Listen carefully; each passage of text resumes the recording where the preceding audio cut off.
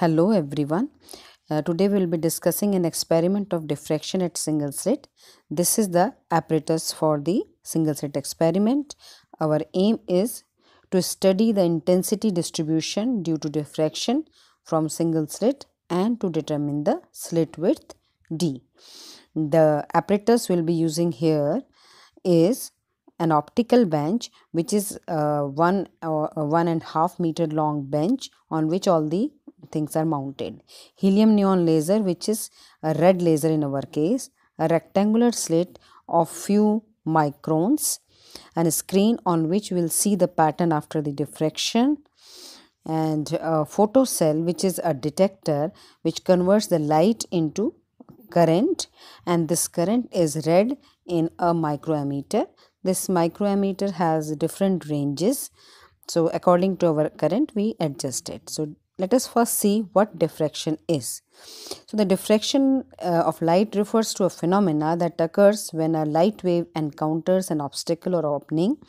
It is defined as the bending of waves around the corners of an obstacle or through an aperture into the region of geometrical shadow of the obstacle or aperture.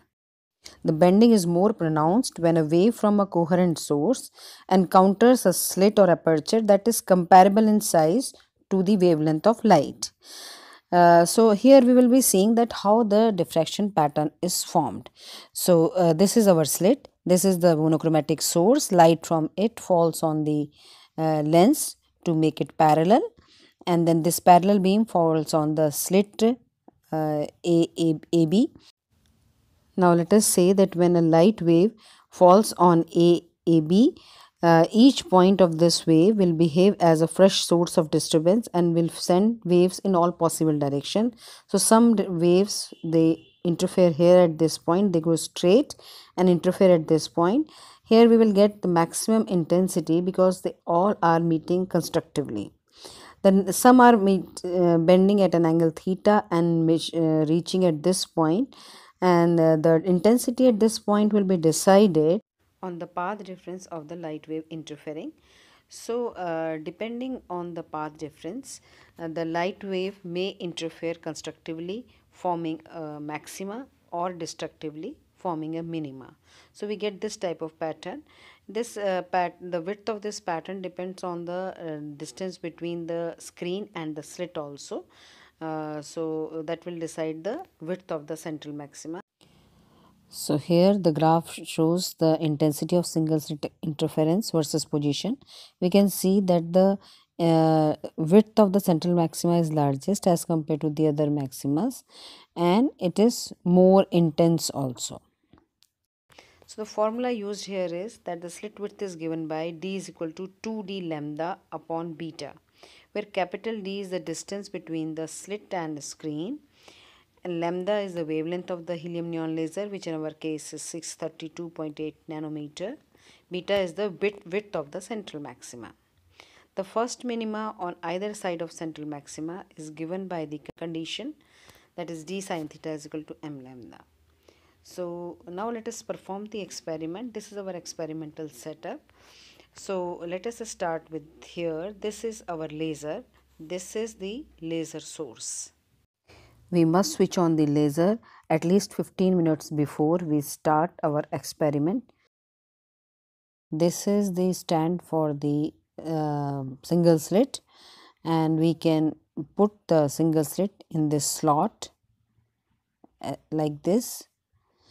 Then this is the screw with which we can uh, change the height of the, uh, the slit and this uh, with the help of this uh, screw we can change the inclination of it. Now we come to the detector part. So this is the detector and which is again have the arrangement for the changing the angle as well as the height of it. Connected to the detector we have this micrometer screw arrangement. So uh, this is the main scale this is circular scale. When we move this the our detector moves in one direction. So suppose we are moving in clockwise direction it is moving in the um, uh, left side. And when we are moving it anti-clockwise it will be moving in right side. So this uh, detector output is given to the micrometer. And this micrometer has uh, this display and has different ranges. So now let us switch on the power uh, supply to get the laser light. And this falls this falls on the slit and we get this type of pattern on the screen you can see I am moving this screen towards the slit. So you can see that the size of the central maxima and other maxima is decreasing. We observe a reverse pattern when we take the uh, detector away from the screen. So uh, now let us take the readings of it so as we can see that the, when light falls on the detector it gives output on the microammeter. So uh, we can change the range select the range according to our current. We have different ranges here. Yes. And this detector uh, now what we do is uh, this is micrometer screw and we change the position take the position on the micrometer screw and then take the reading of the microammeter and we go on doing this. We have to move this only along in one direction otherwise there will be error. And then we take it from other side to this side and continuously take the reading. Note one thing that we have to take a number of readings to get the actual shape of the intensity curve. We can see uh, with the help of a screen we can uh, put our detector at say second minima and then start taking the readings and go on the say on the left side.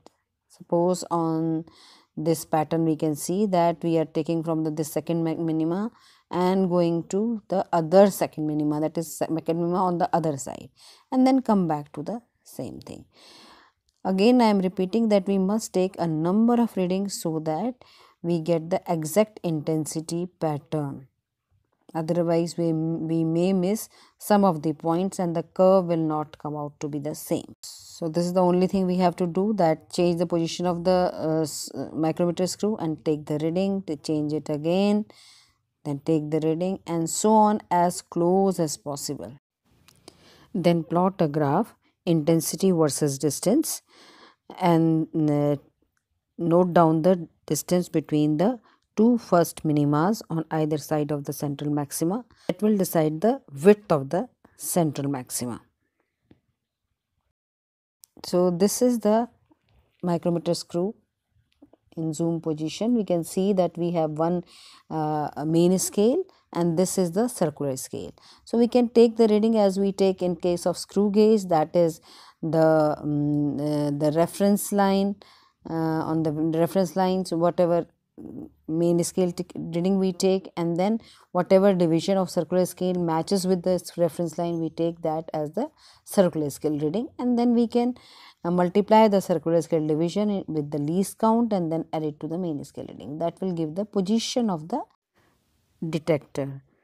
This type of pattern we observe on the screen. As we can see that this is a central maxima followed by the secondary maximas on either side of it. The intensity of central maxima is maximum and it goes on decreasing on either side of the central maxima.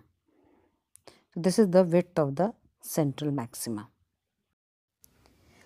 So, here we have the observation table. The wavelength of helium neon laser we have used is 632.8 nanometer in uh, first column we are uh, noting the position of the detector and in second the corresponding current in microammeter. So with the help of this set of reading we plot a graph intensity versus uh, distance and with that uh, we measure the distance between the two first minimas on either side of the central maxima to get the uh, width of the central maxima beta uh, this is the uh, in the second column we have distance between the slit and the screen and with the help of this beta and d we can find out the width of the slit. The whole procedure can be repeated for other distance between slit and the uh, screen. Here are the results. The intensity distribution due to diffraction at a single slit is, is of this type. We have central maxima followed by the uh, secondary maximas on either side. width of central maxima is maximum uh, as compared to the other maximas and the intensity is also higher. The let us see the precautions we have to follow. First of all, the laser beam should not penetrate into the eyes as it may damage the eyes permanently. The photodetector should be as away from the slit as possible so that we get a uh, measurable width of central maxima. The laser should be operated at a constant voltage and uh, then laser should be started at least 15 minutes before starting the experiment and finally the scale of vernier should be rotated slowly and should be moved only in one direction to avoid the backlash error. That's all about the experiments. Thanks for watching. Thank you.